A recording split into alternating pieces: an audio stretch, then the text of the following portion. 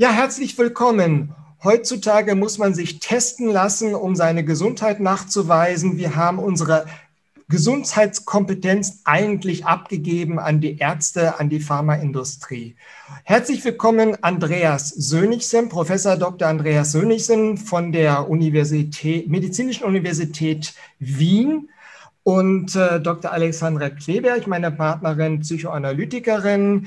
Wir möchten mit dem Andreas Sönigsen heute ein Gespräch führen darüber, wie eigentlich ja seine Analyse, seine Anamnese des Gesundheitswesens ist und wie ein künftiges Gesundheitssystem eigentlich aussehen können. Äh, Dr. Andreas Sönigsen ist äh, ein, wie ich mal, ein ganzheitlich denkender Arzt. Äh, er ist ein Wissenschaftler, der auch äh, selber noch sehr in der Praxis mit beiden Beinen steht. Und vielleicht möchtest du dich kurz vorstellen, Andreas.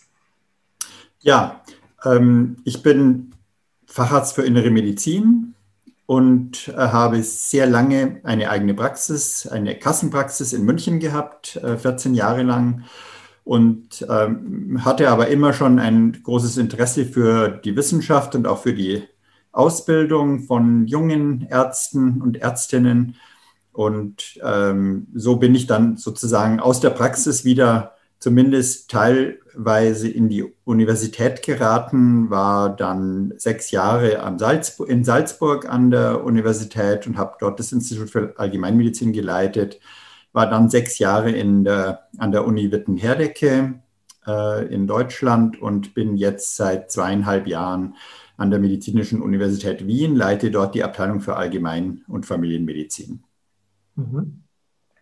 Ähm, ja, vielleicht noch als Besondere dabei, du bist, äh, wie ich selber auch, du bist Kandidat äh, für die Basis, für den, für den Bundestag. Du bist unser bayerischer Spitzenkandidat. Mhm. Und es ist natürlich toll, dass wir einen so kompetenten Mediziner äh, haben dafür. Und deswegen glaube ich, ist es sehr spannend, heute mit dir darüber zu reden, wie könnte da ein künftiges Gesundheitssystem aussehen. Aber vielleicht die Frage nochmal zurück, wie du als Wissenschaftler, du bist äh, ja am Institut für oder Abteilung für Allgemein- und Familienmedizin und im, am Zentrum für Public Health. Also im Grunde bist du so ein bisschen, weiß ich, das Gegenstück zum Lauterbach, kann man sagen. Der sagt ja auch, er wäre Public Health. Wenn seine Frau sagt das. Ach so, seine Frau sagt das. Okay. Ähm, auf jeden Fall, ähm, ja, was, wie, wie aus deiner Sicht, wie als Wissenschaftler auf die Blick auf unser Gesundheitswesen, wo siehst du da, was ist deine Anamnese? Was, was ist dein, dein, deine Zustandsanalyse? Was ist krank? Ja, vielleicht noch mal kurz äh, sozusagen, wie ich eigentlich in die Wissenschaft reingeraten bin und warum. Und äh, das geht eigentlich zurück in meine eigene Ausbildungszeit, äh, in der ich viele Dinge erlebt habe, die ich mir, wo ich mir dachte, nee, so kann es eigentlich nicht sein. Es muss irgendwie, es muss irgendwie auch anders gehen. Und äh, äh, wenn ich daran denke, äh, die wissenschaftliche Arbeit, die ich während meiner Ausbildungszeit gemacht habe, ich war da in der Stoffwechselforschung tätig ähm, und diese Forschung war eigentlich durchweg industriefinanziert und ähm, äh, die Wissenschaftler, besonders mein damaliger Chef, waren auch regelmäßig auf internationale Kongresse eingeladen, äh, voll Pharma finanziert und man logierte dann auch in noblen Etablissements. Ähm, und ich dachte mir, nee, also das äh, ist eigentlich nicht das, was ich mir unter Medizin vor, vorstelle. Und ich bin da dann auch einen etwas anderen Weg gegangen, eben äh, erstmal über die eigene Praxis und dann, ähm, ja, hat mich eigentlich schon sehr früh interessiert, ähm, ja, wo, wo sind eigentlich die, die Kernelemente einer guten Medizin? Und das Allerwichtigste ist, glaube ich, dass Medizin schon mal nicht schaden darf. Ja? Äh, primum nil nocere ist ja so ein alter, eine alte medizinische Weisheit, also zuerst mal auf jeden Fall keinen Schaden anrichten.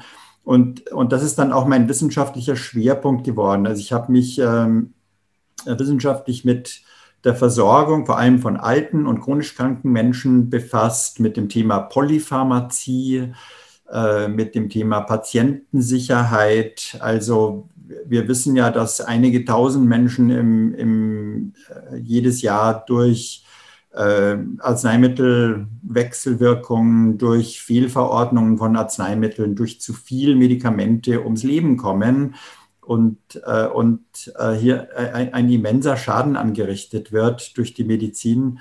Ähm, also man muss gar nicht sozusagen auf die spektakulären Fälle kommen, ähm, das falsche Bein amputiert und solche Geschichten gibt es natürlich auch, aber ähm, das ist zwar spektakulär, aber zum Glück nicht so häufig. Viel, viel häufiger sind diese subtilen Schäden, die die, die Medizin anrichtet, einfach durch, ja, ähm, ja, die Medizin ist zu einem extrem mechanistischen Denkmodell verkommen, würde ich mal sagen. Ja, also, und das, das spiegelt natürlich auch die Gesundheitskompetenz der Bevölkerung wider, wo wir das Problem haben, dass Menschen eben, ja, wie, wie du eingangs gesagt hast, eben nicht mehr unterscheiden können, bin ich denn jetzt gesund oder bin ich nicht gesund? Und dann kommt ähm, die, der Wunsch nach einem Test, mit dem ich sozusagen meine eigene Gesundheit unter Beweis stelle oder auch mir selber sicher werden kann, ich bin ja, ich bin ja doch gesund, ja. Ähm, also das sind die Themen, die mich so äh, in, in der Forschung interessiert haben. Und wir haben zum Beispiel, habe ich ein, äh, für über fünf Jahre ein großes EU-Projekt geleitet, in dem wir äh, eine Entscheidungshilfe entwickelt haben, wie man bei Patienten mit Polypharmazie, also die mindestens sieben, acht verschiedene Medikamente einnehmen, und das ist äh, im höheren Lebensalter dann fast die Hälfte der Bevölkerung, äh, wie, man, wie man die von den Medikamenten auch wieder wegbringt und, und was man tatsächlich damit Gutes bewirken kann. Und wir konnten dann auch in dieser Studie zeigen, dass man durch die durch das Absetzen von Medikamenten, also nicht durch das Verordnen von Medikamenten, sondern durch das Absetzen von Medikamenten kann man die Mortalität senken und die Krankenhausaufenthaltshäufigkeit senken. Also man, man tut den Menschen was Gutes, wenn man die, die Medikamente eben auch mal durchforstet und überlegt, ähm, was ist hier wirklich sinnvoll und was nützt dem Patienten wirklich und was nützt vielleicht mehr der Industrie. Mhm.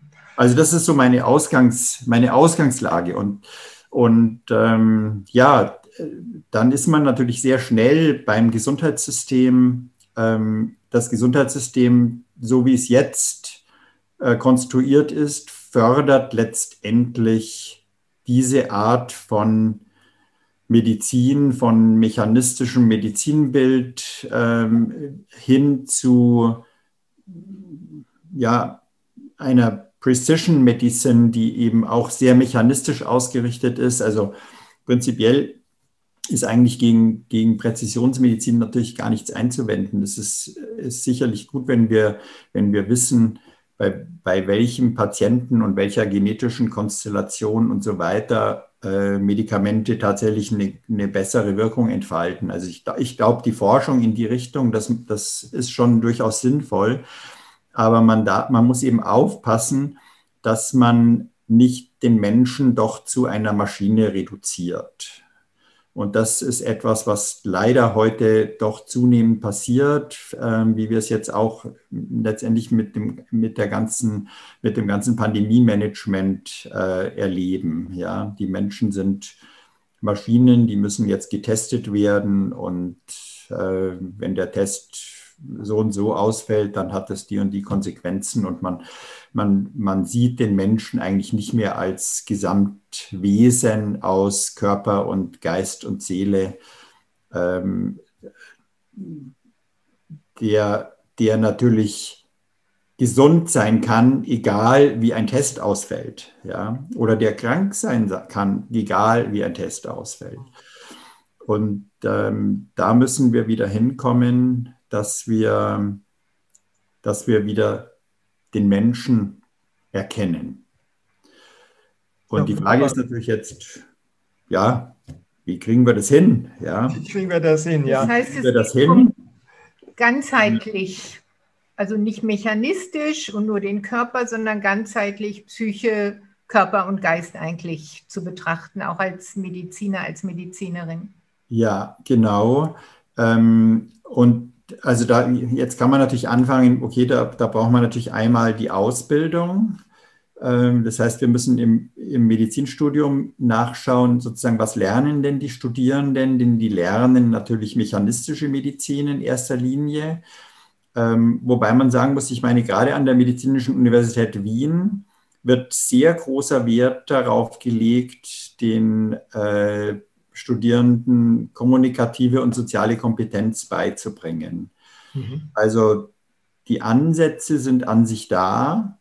Ähm, ich glaube nur, dass das Problem entsteht dann im Lauf des Studiums, wenn die Studierenden sozusagen in die Realität des heutigen medizinischen Alltags eintauchen und dann merken, naja, das mit der Kommunikation, das läuft hier eigentlich alles, alles nicht so, sondern es läuft eben ganz anders. Es läuft so, der Patient kommt mit einem Symptom XY und dann wird die technisch labordiagnostische bildgeben, bildgebende äh, Diagnostiklatte runtergefahren. Ja? Und mhm. das Ganzheitliche wird, äh, rutscht sehr weit in den Hintergrund.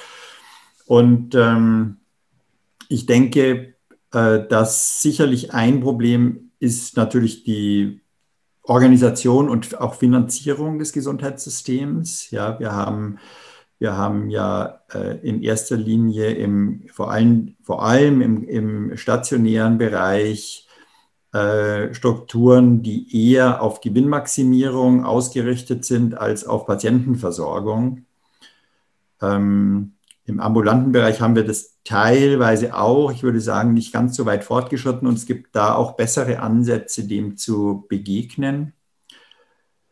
Ähm, und das, das wäre natürlich, das wären so die ersten Ansätze, wo man, wo man nachdenken muss. Also ich bin zum Beispiel ein, ein strikter Gegner ähm, der, der deutschen Krankenhausfinanzierung, die eben ähm, mit privatisierten Kliniken arbeitet, wo es letztendlich um ja, den Gewinn von Anteilseignern geht und nicht um Patientenversorgung. Ja. Für, für, dich als Wissenschaftler, du würdest du sagen, du hast ja jetzt machst jetzt den Schritt in die Politik rein. Äh, ist das so, wo du sagst, okay, in meinem, wo ich als Wissenschaftler gearbeitet habe, da, da habe ich jetzt die Analyse gemacht. Ich habe, ich sehe, da komme ich mit allen Sachen nicht voran. Jetzt ja. muss die politische Ebene noch äh, mit reinkommen und da möchte ich mich jetzt auch engagieren. Oder was betreibt dich dazu, jetzt auch den Schritt in die Politik zu machen? Ja, das ist vielleicht, vielleicht ein guter Aufhänger sozusagen. Ähm, die, letztendlich hat sich die Wissenschaft und die, und die Ärzteschaft an sich, im, also natürlich gibt es ja glücklicherweise einige Ausnahmen, ich bin ja nicht die Einzige, ähm, aber, aber die Ärzteschaft als Gesamtes mit inklusive der Kammern äh, und der Fachgesellschaften, die haben sich ja alle letztendlich massivst disqualifiziert. Ja.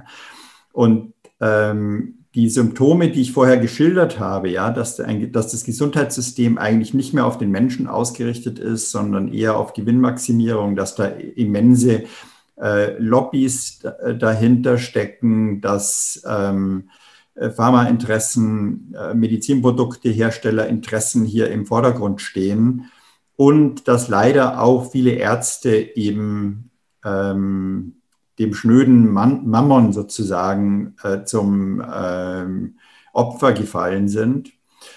Äh, das hat sich, glaube ich, seit langem abgezeichnet und hat sich sozusagen jetzt in, im Rahmen dieser Corona-Krise hat sich das massivst zugespitzt. Hm. Ähm, und da, da hat sich natürlich noch, das ist natürlich multifaktoriell, das ist ja nicht das Einzige, ähm, äh, sondern äh, in der Corona-Krise hat sich das Ganze noch vermixt mit Angst. Ähm, ich glaube, dass sehr viele Ärzte eben selber Angst haben und Panik haben, sich haben anstecken lassen von den Medien, die sehr reißerisch diese Pandemie aufgebauscht haben. Ähm, und Angst und Vernunft äh, ist ja eh schlecht vereinbar, ja. Also mit Angst schaltet man die Vernunft ja ab. Und äh, wenn die Vernunft dann ganz abgeschaltet ist, dann offenbaren sich Dinge, die vorher zwar subtil auch vorhanden waren, aber die jetzt wirklich so richtig zum Ausbruch gekommen sind. Ja. Ähm, also ich habe Kollegen gehört, die diskutiert haben, ähm, wie viel, wie viel Testpositive hast du denn in deiner Praxis in den letzten drei Wochen gehabt? Ähm, ich eigentlich keinen. Sagt ein anderer, ähm, ja, bei mir waren zwei und die sind dann zum PCR-Test gegangen und dann ähm, hat sich das als falsch positiv rausgestellt. Aber ich hatte schon seit Weihnachten keinen mehr, sagt dann der Nächste. Ja. Ähm, dann sagt einer, ja Leute, wieso machen wir diesen Schwachsinn eigentlich mit? Dann sagt der Erste wieder, halt bloß das Maul, wir verdienen Geld damit. Also da tun sich wirklich Abgründe auf, äh, die man vorher gar nicht so im Bewusstsein hatte oder vielleicht nicht wahrhaben wollte. Man, man dachte eigentlich, nee, so schlimm kann es ja eigentlich noch gar nicht sein. Mhm. Aber es ist eben wirklich so schlimm. Ähm, und ich glaube, dass man hier nur noch politisch überhaupt weiterkommt. Und es ist natürlich so, dass, sich de, dass die Medizin ja auch jetzt nur ein Beispiel ist für die Gesamtgesellschaft. Ähm, die, die gleichen Strukturen, die wir, mit denen wir in der Medizin kämpfen, ähm, einfach eine, eine mechanistisch materialistische Sichtweise des Lebens schlechthin, die, die zieht sich ja durch alle Bereiche. Ja? Die zieht sich ja durch die Politik, die zieht sich durch die ganze äh, Thematik Wirtschaft, ähm, und man fragt sich, wie sollen wir eigentlich überhaupt da rauskommen? Wie sollen wir die großen Krisen, die noch auf uns zukommen, äh, die, die Umweltzerstörung, den Umgang mit den Naturressourcen, äh, wie sollen wir das in den Griff kriegen, wenn wir nicht grundlegend unsere politische Einstellung ändern und hier einfach was anders machen? Hm. Zumal die Lösungen, die uns da angeboten werden, auch wieder nur ja, äh, materialistisch letztendlich sind und ja. eine wirklichen Änderung des Umgangs, des Verhältnisses zwischen Mensch und Natur mit beinhalten. Ja, genau. Eine technokratische Lösung. Genau. Ja, sag mal, du hast also du hast dich ja ganz aktiv am, am Basisprogramm der Basis im Bereich äh, Gesundheit engagiert.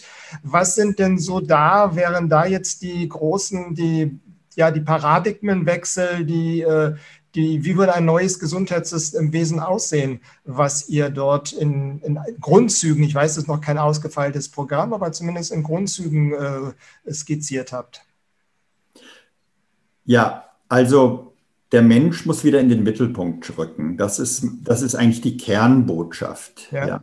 Und, und dann, ich glaube, dass äh, dass einfach die vier Säulen der Basis, das ist ja das, was mich, was mich zur Basis gebracht hat und was mich von der Basis, an der Basis fasziniert und, und begeistert. Mhm. Äh, diese vier Säulen, äh, Freiheit, Machtbegrenzung, Achtsamkeit und, und, und Schwarmintelligenz. Ja. Ähm, das kann man jetzt sozusagen am Gesundheitssystem einfach mal durchdeklinieren. Ja? Gerne. Freiheit heißt, heißt doch, dass, dass der Mensch ähm, über seinen eigenen Körper, über seine eigene Gesundheit selbst bestimmen kann. Das ist, das ist, das ist ein absolutes Grundrecht. Ja? ja. Und ich meine, Frank Rödel hat es ja mal sehr schön gesagt. Ja, ein Grundrecht ist eben ein Grundrecht. Das ist nicht ein Recht, das an Bedingungen geknüpft ist, hm. sondern es ist ein Grundrecht. Äh, und Grundrechte sind nicht veräußerbar und nicht beschränkbar. Ja, also ich kann nicht sagen, ich mache dein Grundrecht abhängig davon, dass du ein bestimmtes Testergebnis hast ja. oder dass du eine Impfung vorweisen kannst. Mhm. Das ist ja vollkommen absurd äh, und widerspricht jeglicher medizinischen Ethik, wie wir sie eigentlich seit Hippokrates pflegen. Mhm. Ähm, und diese Freiheit muss natürlich im Gesundheitssystem auch zuallererst verankert sein. Ja, das heißt natürlich, dass ich als Patient, als Mensch, der Hilfe sucht, der medizinische Hilfe sucht, muss ich die Freiheit haben, auch zu entscheiden, wie und wo ich diese Hilfe bekomme. Ja. Also wir, wir, wir brauchen hier eine, eine, äh, einen Paradigmenwechsel natürlich auch im gesamten System, ähm, in dem jetzigen System, in dem verschiedene medizinische Schulen sozusagen gegeneinander antreten und, und sich, sich, im schlimmsten Fall gegenseitig bekämpfen. Ja. Also hier brauchen wir, hier brauchen wir ein, ein viel freiheitlicheres Grundkonzept äh, zum einen. Und, und wir brauchen natürlich die Machtbegrenzung, das heißt die Machtbegrenzung von äh, Strukturen im Gesundheitswesen. Wir brauchen eine Machtbegrenzung der Versicherungen. Wir brauchen Machtbegrenzung von Administrationen von Krankenhäusern. Wir brauchen Machtbegrenzung von Ärzten äh, in der Hierarchie. Wir brauchen Machtbegrenzung von Ärztekammern. Äh, und wir brauchen natürlich auch Machtbegrenzung im Hinblick auf den Einfluss von Industrie, von Lobbys, von ähm, Medizinprodukte und Medizingeräteherstellern. Ja. Ähm, die andere Seite der Machtbegrenzung auch die Selbstermächtigung und Selbstbestimmung der Patienten und Patientinnen. Also ich glaube, das muss ja ineinander gehen, oder? Genau. Dass genau. Patienten, Patientinnen sich eine Kompetenz aneignen und nicht ihre Gesundheit einfach beim Arzt delegieren. Genau. Also das ist natürlich etwas, was wir eigentlich, sagen wir mal, gerade von der Allgemeinmedizin hier seit, seit langem propagieren und, äh, und äh, auch von der evidenzbasierten Medizin, das ist ja so mein anderes, mein, mein zweites wissenschaftliches Standbein. Ähm, äh, die evidenzbasierte Medizin wird ja häufig missverstanden als, äh, ja, das sind da die, die machen da ihre Studien und dann ist es eine, eine Studiengläubigkeit und was die Studie sagt, das ist dann das Evangelium. Ja, das stimmt ja gar nicht. Ja, evidenzbasierte Medizin ruht ja auf drei Säulen. Ähm, die, die, evidenzbasierte Medizin, so, so wie sie von, von dem Gründervater David Sackett äh, entwickelt und, und gedacht wurde.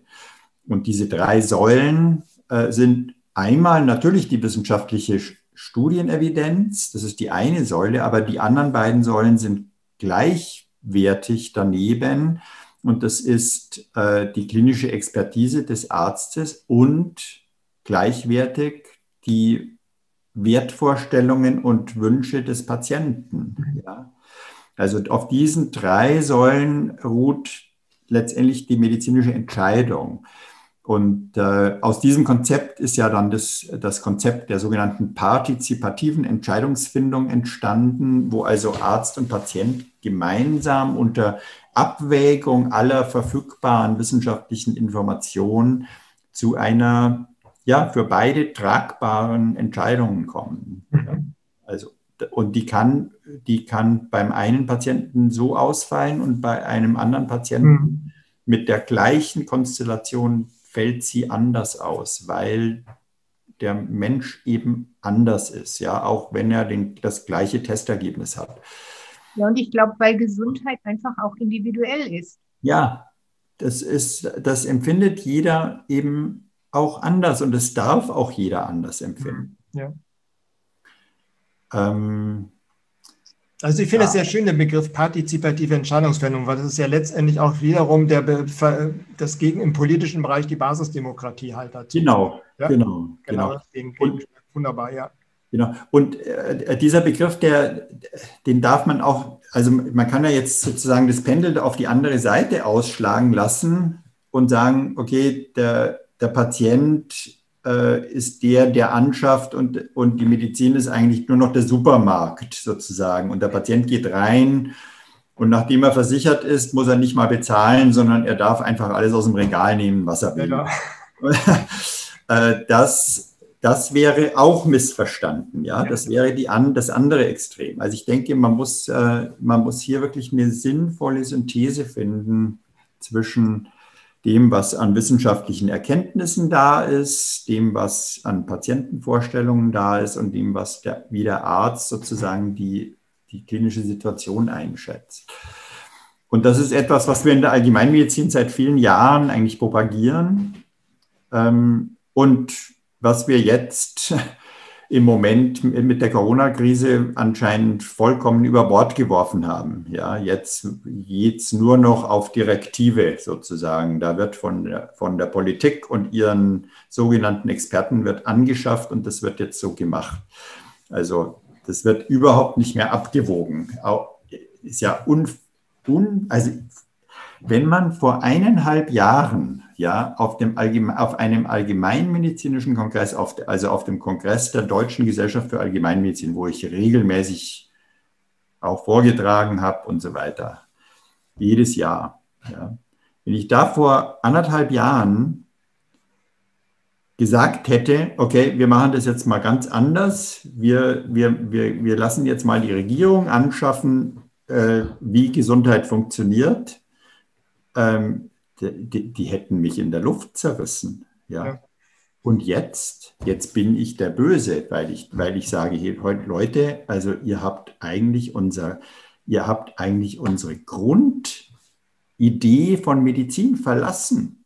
Ja. Ihr habt es aufgegeben. Also wir haben, wir haben in der Allgemeinmedizin eigentlich immer dagegen angekämpft, weil die, die spezialistische Medizin, die hochspezialisierte Medizin war immer schon mehr mechanistisch ausgerichtet als, als die Allgemeinmedizin. Die Allgemeinmedizin war eigentlich so der Leuchtturm, ja, ich, also auch jetzt Kinzigtal oder so, ja, das hatten wir ja auch schon drüber gesprochen, das Haus, hausarztzentrierte Versorgung, äh, das Modellprojekt da Baden-Württemberg und so.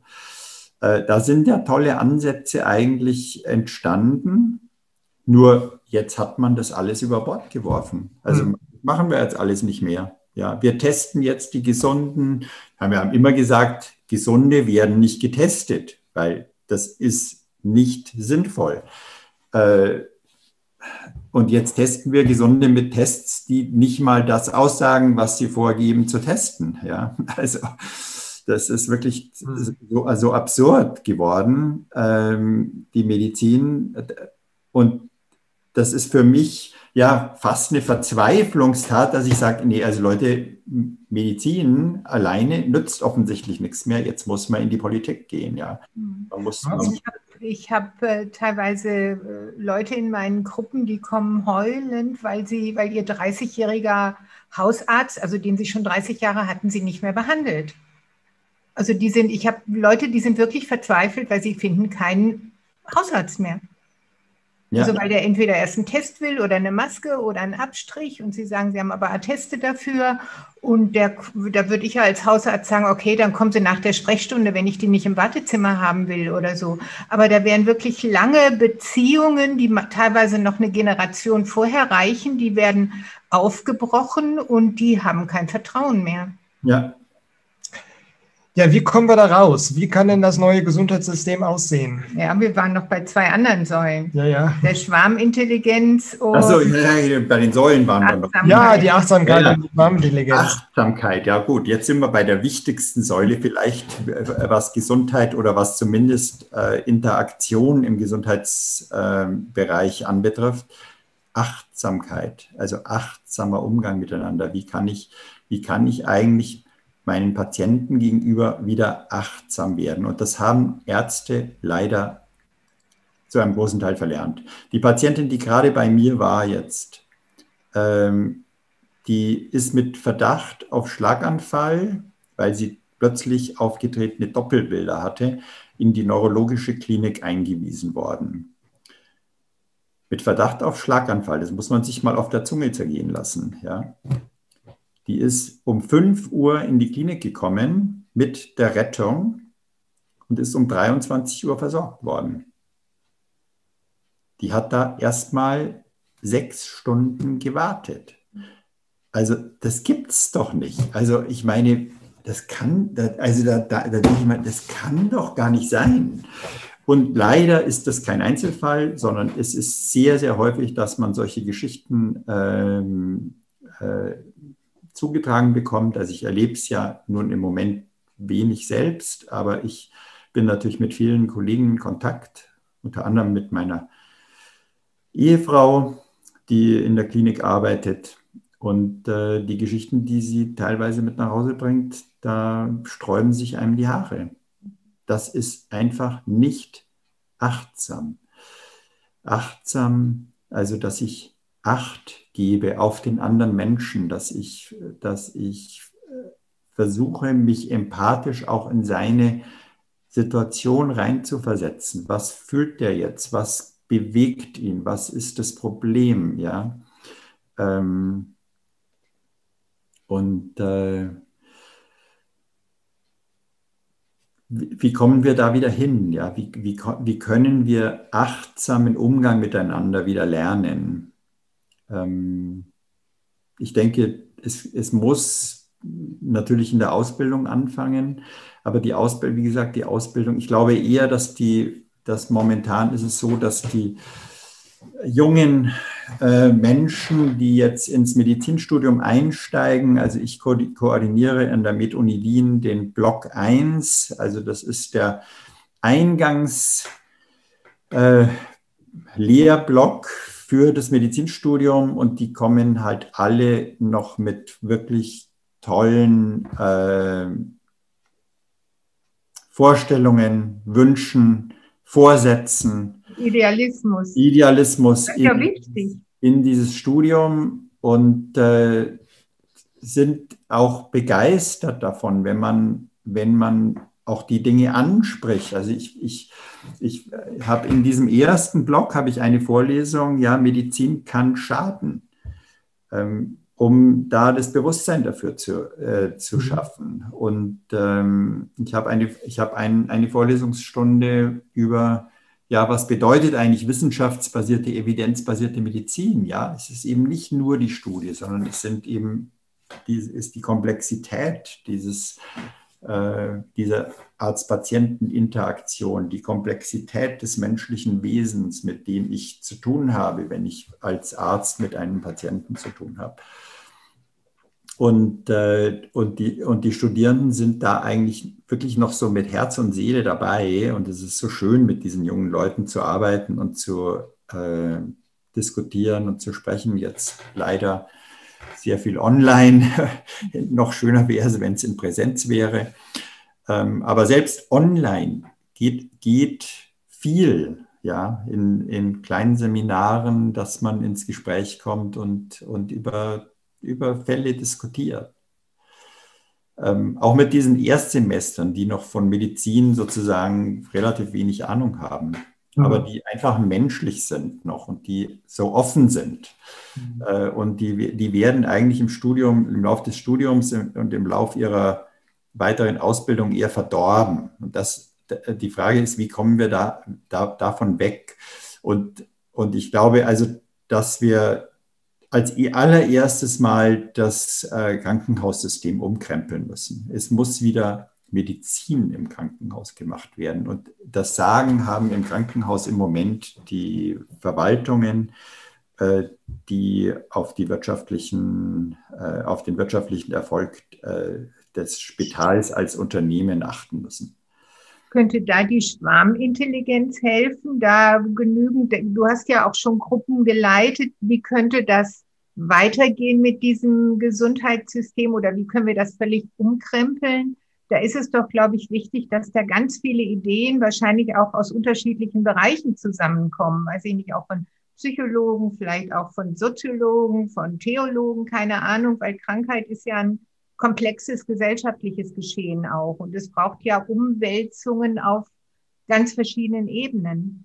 Ja, also ich glaube, dass ein, ein Krankenhaus kann nur wirklich in, in einer konstruktiven, äh, interprofessionellen Atmosphäre äh, gut funktionieren. Ja. Und äh, Krankenhäuser funktionieren im Moment so, so, dass die Verwaltung, die Administration, die, die Wirtschaftsadministration eigentlich das, den Ton angibt und dann innerhalb der Ärzteschaft ein, noch eine sehr, sehr rigide Hierarchie herrscht und die anderen medizinischen äh, Berufe, die im, im Krankenhaus natürlich mindestens genauso wichtig sind wie die Ärzte, ja, die, die Pflege, ja. die Physiotherapie, die, die, diese begleittherapeutischen Verfahren, die wir, die wir eben auch äh, natürlich brauchen.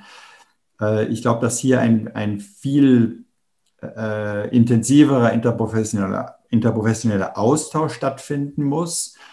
Und ähm, ja, wie gesagt, wir müssen definitiv wegkommen von, von der Gewinnmaximierung. Ich glaube, wir, wir haben in den letzten 20, 30 Jahren ja das, einen Wandel von Gesundheit hin zu Gesundheitswirtschaft gehabt. Und das muss man, äh, das muss man wieder rückgängig machen. Also Gesundheit ist nicht etwas, wo man wirtschaftlich erfolgreich äh, sein muss. Ähm, das, das, also wenn jemand krank wird, das ist ein wirtschaftlicher Schaden. Das ist einfach so. Äh, da, da kann man auch keine Gewinne draus, draus rausmaximieren. Ja, also das geht nicht. Ähm, das heißt, wir müssen zu einem, äh, sicher zu einem neuen fin äh, Finanzierungssystem für Krankenhäuser kommen. Wir, wir äh, müssen wieder die Krankenhäuser eher in die öffentliche Hand geben ähm, oder zumindest in, gemein, in gemeinnützige Trägerorganis Trägerorganisationen. Ähm, und wir brauchen ein anderes Honorarsystem, das das letztendlich nicht so wie das DRG-System, mit dem wir derzeit Krankenhausfinanzierung betreiben, äh, das ja diagnosebezogen ist und äh, wo es eigentlich darum geht, dem Patienten möglichst viele Diagnosen anzuhängen, damit man dann maximale Gewinne rausschneiden kann. Und, und natürlich, die Diagnosen kriege ich nur dadurch, äh, dass ich dann entsprechend auch technisch den Patienten durch alle möglichen Untersuchungen durchnudelt, die er vielleicht eigentlich gar nicht braucht. Mhm. Ja. Wäre es denn nicht gut, auch viel mehr Geld in die Prophylaxe zu tun, also nicht in die Vorsorgeuntersuchungen, sondern das, was ich sagte mit der Selbstermächtigung von Menschen, dass die einfach schon von klein auf lernen, wie funktioniert der Körper. Ich finde zum Beispiel mal ganz wichtig Sympathikus, Parasympathikus zu unterrichten. Also was bringt mich auf die Palme und wie komme ich wieder runter, weil das ist ja ein ganz wesentliches System, was wir haben, um uns zu balancieren. Mhm. Dass auch Achtsamkeitstraining oder autogenes Training oder Imagination, dass Menschen einfach, wir haben ja 70 Prozent sogenannte Zivilisationserkrankungen, die gab es vor 100 Jahren noch gar nicht in dem Maße.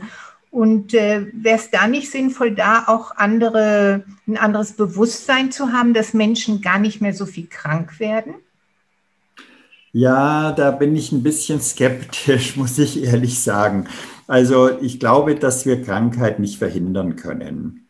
Ähm, also die, die Prävention, äh, also, wobei ich jetzt nicht sagen, nicht sagen soll, nicht sagen möchte, dass das nicht sinnvoll ist, dass man Menschen äh, dazu erzieht, auf ihren eigenen Körper zu achten, ja, oder diese Körper, Geist, Seele Einheit irgendwie selbst, auch die Selbstwahrnehmung und äh, äh, das sollte man schon fördern. Das ist, das ist natürlich ein Problem, das wir heute mit der Jugend haben, die äh, ja zunehmend mit digitalen Medien aufwächst ähm, und die ja, die eigene Körperlichkeit tritt so ein bisschen in den Hintergrund. Viele Kinder machen ja auch, wobei die Corona-Krise hat jetzt natürlich wunderbar dazu beigetragen, das weiter zu, äh, zu ver, ver, verschlimmern. Ähm, äh, kein Sport, ja, Sportveranstaltungen sind alle ausgefallen, äh, die Kinder haben Sozialkontakte sind alle ausgefallen. Also wir haben jetzt wirklich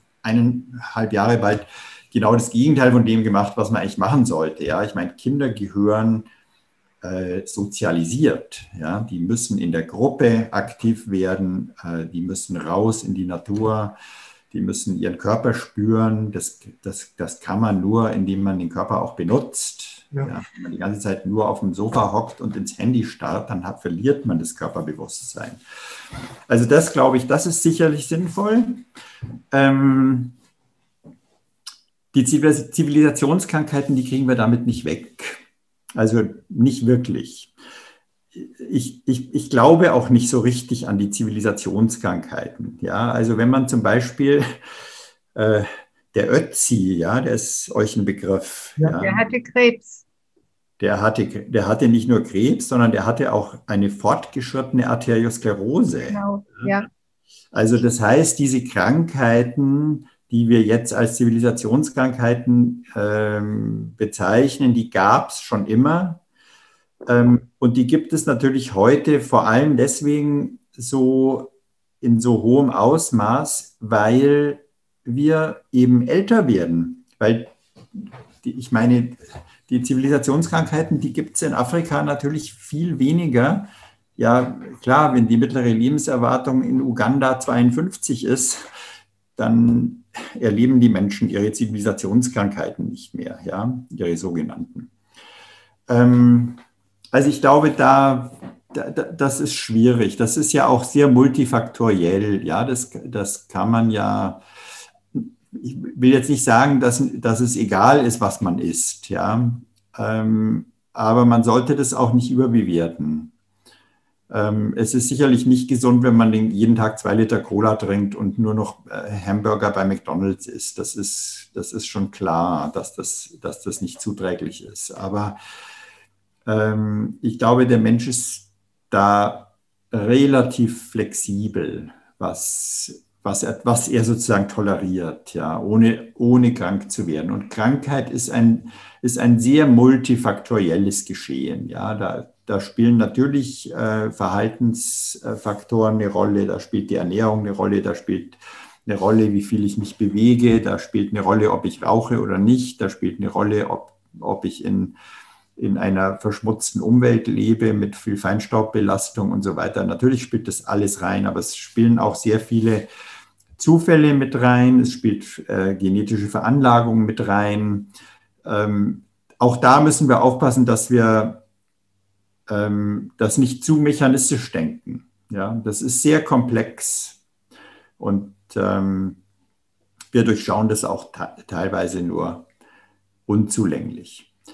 Ähm, also ich glaube, bin völlig d'accord, wir, wir sollten, äh, sollten dahin kommen, dass Menschen Gesundheitskompetenz erlernen und äh, gesundheitskompetent aufwachsen. Das ist aber eigentlich das Normale. Ja?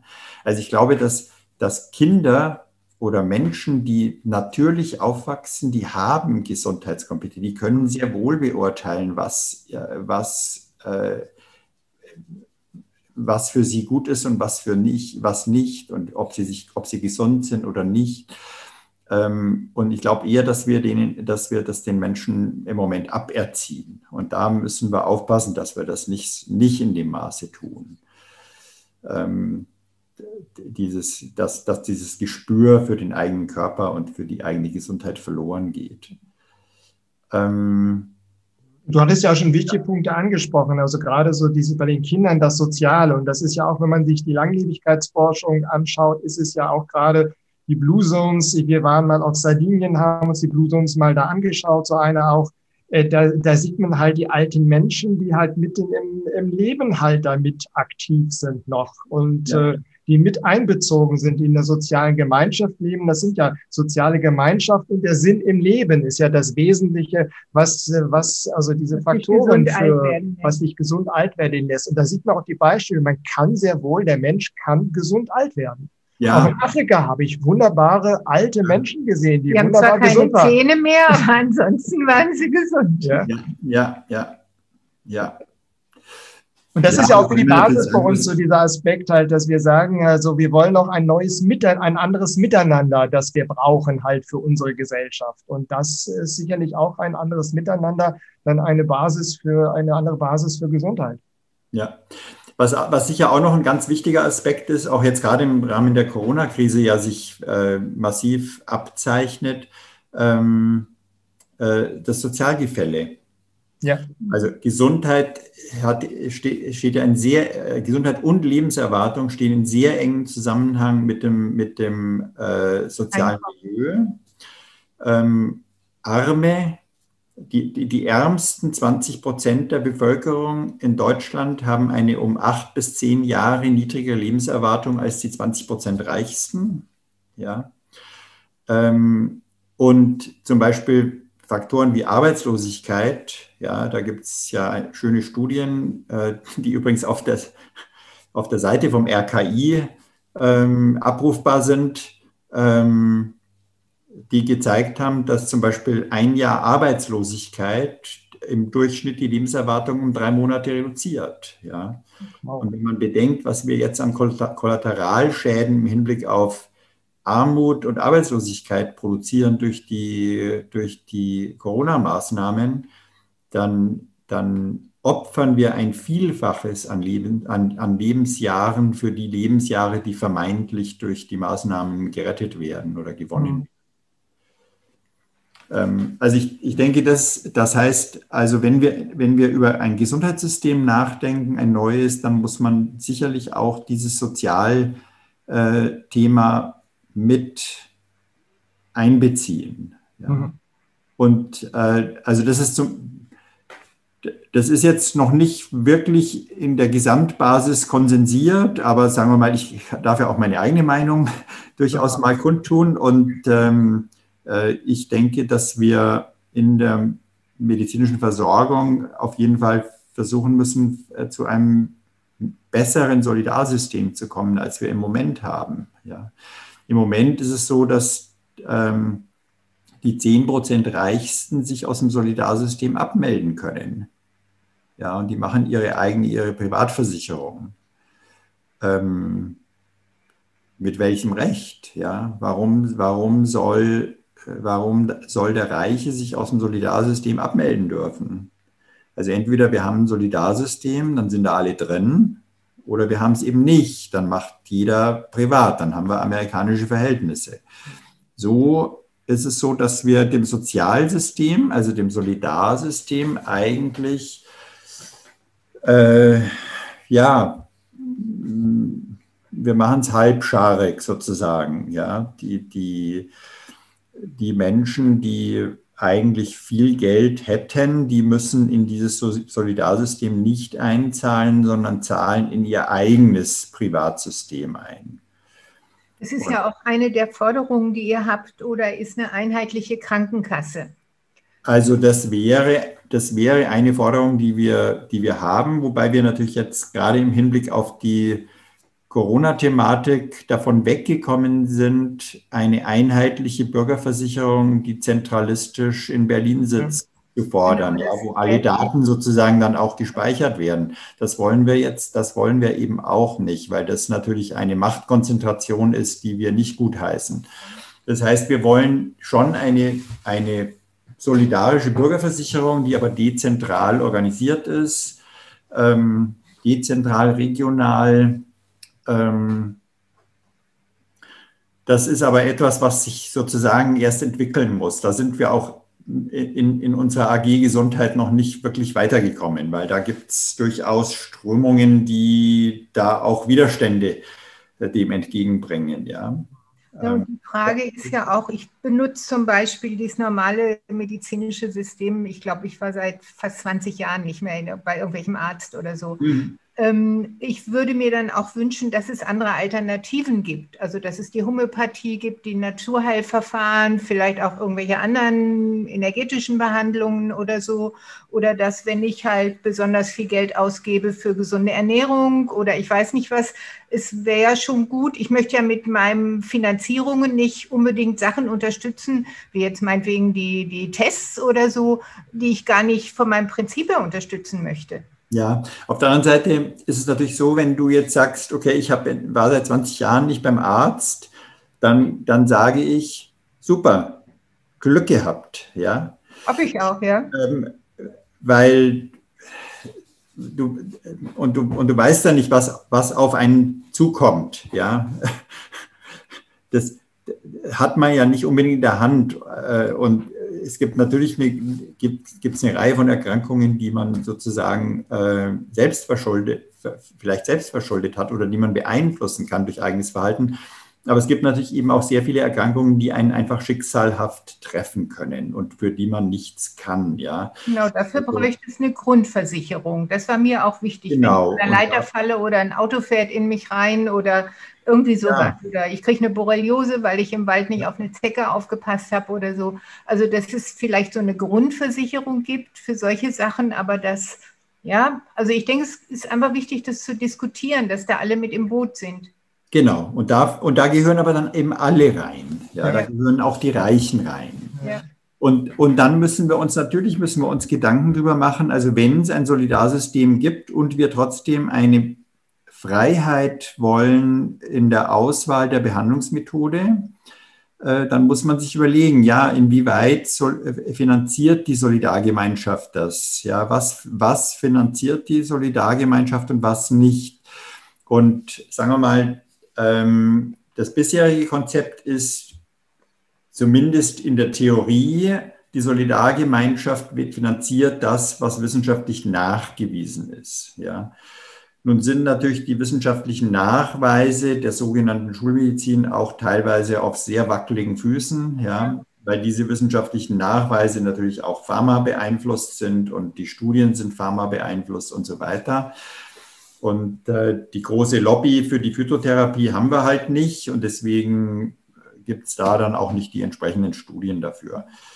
So, also das heißt, wir müssten dann eigentlich sagen, okay, wir gehen ein bisschen weg von der strikten Trennung nach wissenschaftlich nachgewiesen und wissenschaftlich nicht nachgewiesen. Auf der anderen Seite ist es natürlich so, das Spektrum jetzt auf der, auf der wissenschaftlich nicht nachgewiesenen Seite ist natürlich sehr breit, ja. Und wenn ich jetzt mir vorstelle, dass dann irgendeiner daherkommt und sagt, er hat die, er hat die Kieselsteine bei Vollmond gesammelt und die legt er dem Menschen jetzt auf die Brust. Ähm, und das soll jetzt auch noch die Solidargemeinschaft finanzieren, sein Honorar, weil durch seine Geistesheilung ähm, äh, äh, die ist, die ist Tausende von Euro wert an Honorar oder keine Ahnung was, dann muss ich sagen, da ist natürlich dann irgendwann muss da Schluss sein. Und, die, und das ist sehr schwer, wo ziehe ich da die Grenzlinie, ja. Das ich glaube, du hattest ganz wichtig angesprochen, es geht ja, ich glaube, die meiste Forschung ist inzwischen Pharma finanziert, was, was genau. ich gelesen habe. Ja. Und das ist natürlich klar, dass die Homöopathen keine Forschung machen oder die Kieselsteinputzer oder was weiß ich. Es bräuchte finde ich, eine, eine, unabhängige Forschung, ja, die sagt, wir gucken uns diese einzelnen Bereiche mal an. Ja. Und das auch in dem, im Bereich, auf wo ich arbeite, Psychoanalyse, Psychologie, es gibt wenig Forschung da im Vergleich zur Pharmaforschung. Und es müsste einfach es müssten un, unabhängige Universitäten geben, die einfach Sachen, wo die Menschen sagen, boah, das wirkt, die einfach mal, können ja erstmal kleinere Forschungen sein, aber dass, dass nicht grundsätzlich ganz viele Bereiche ausgeklammert werden aus der Forschung. Ich finde Forschung. Ja, wobei man sagen muss, das ist ja, also das, das kann man ja nicht ganz so sagen, ja. Also es gibt natürlich, es gibt, es gibt äh, eine sehr große Anzahl von Homöopathiestudien zum Beispiel, ja die eben natürlich sehr inkonsistente Ergebnisse gebracht haben. Und es ist so, dass man, dass man mit Sicherheit sagen kann, Homöopath das homöopathische Verfahren wirkt. Ja. Individuell.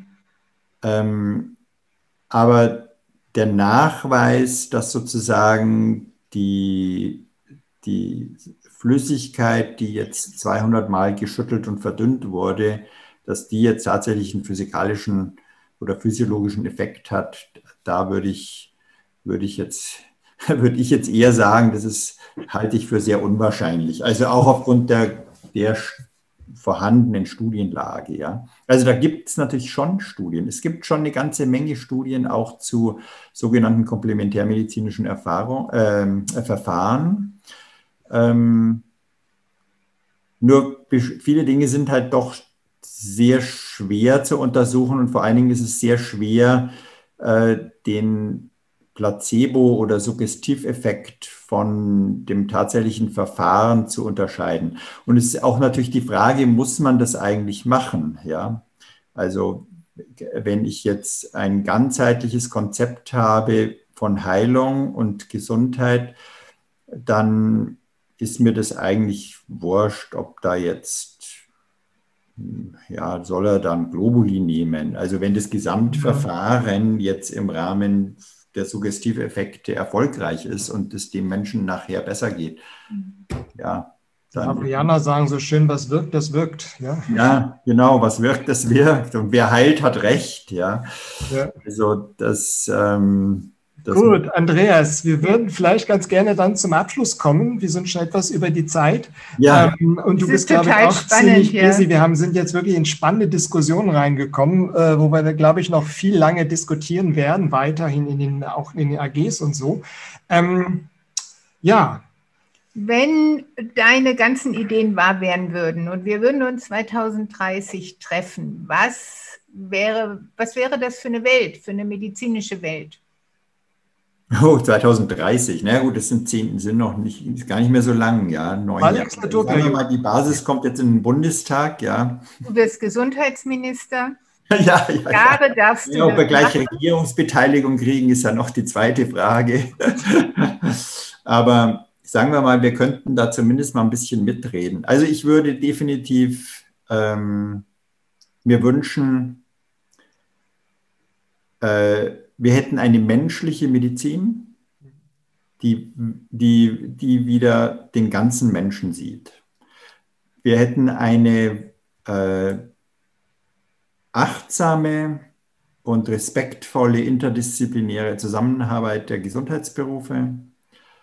Wir hätten Krankenhäuser, die in öffentlicher Hand sind und die ähm, den Patienten im Vordergrund sehen und die wirtschaftliche äh, Situation des Krankenhauses im Hintergrund. Ja. Also wir brauchen ein Finanzierungssystem für, für Gesundheitsdienstleistungen das den Menschen in den Mittelpunkt stellt und nicht Gewinninteressen der Betreiber, sowohl im ambulanten als auch im stationären Bereich. Das, das wäre, glaube ich, das, das absolut Entscheidende. Und dann äh, würde ich mir jetzt für den ambulanten Bereich speziell wünschen, und das ist teilweise, gibt es ja diese Ansätze, gibt es ja bereits in den Hausarztmodellen zum Beispiel, dass die sprechende Medizin höher bewertet wird als technische Untersuchungen ähm, und dass wir, ja, dass wir es wieder lernen, ähm, Gesundheit als ein, als, als das zu begreifen, wie Menschen sich wirklich selber fühlen, ja. Also, dass wir wegkommen davon, dass man Gesundheit äh, jetzt unter Beweis stellen muss und äh, durch irgendwelche Testverfahren. Also die, diesen Irrweg, den, den hoffe ich, den verlassen wir bald wieder. Ja, wunderbar. Herzlichen Dank, Andreas, äh, für dieses inspirierende Gespräch. Ich hoffe, den Zuschauerinnen und Zuschauern hat es auch gefallen, hat sehr inspiriert, da weiter dran zu bleiben an dem Thema. Ja, und falls du Ideen hast, es geht ja um Schwarmintelligenz und da sind natürlich auch die Patienten, Patientinnen oder die zukünftigen Patienten, Patientinnen mitgefragt, dann schreib einfach unten die Ideen und Wünsche drauf. Ich glaube, es ist wirklich eine Zeit, wo keiner jetzt die Lösung hat, sondern es geht darum, die im Miteinander und mit dieser Schwarmintelligenz sozusagen dieses Feld zu bewegen, dass da auch wirklich was Tolles bei rauskommt, was den Menschen dient. Und das finde ich ganz, ganz wichtig. Also bitte schreibt eure Ideen, eure Kommentare unten hin. Äh, die können wir dem Andreas gleich weiterleiten oder der Basis in die Gesundheitsgruppen. Das wäre einfach total klasse. Ja, denn darum geht es bei die Basis, dass eben halt die Menschen, die Patientinnen und Patientinnen da mitsprechen können und ihre Ideen halt bringen. Das nennen wir Basisdemokratie. Und das ist, glaube ich, der große Paradigmenwechsel, auch den wir in der Politik wollen, für den sich Andreas, für den wir uns auch, auch einsetzen. Herzlichen Dank fürs Zuschauen. Andreas, dir ganz herzlichen Dank für dieses, für deine Zeit Ja, danke euch. Mal ein Schlusswort. Gespräch. Ja, noch möchtest du noch ein Schlusswort sagen, Andreas, an die Zuschauerinnen und Zuschauer? Ja, packen wir es an. Super. Ja, es gibt viel zu tun. Vielen, ja. vielen herzlichen Dank für dein Engagement. Ganz danke. großartig. Ganz herzlichen danke, Dank. Danke, und, äh, danke. Alles Gute nach Wien.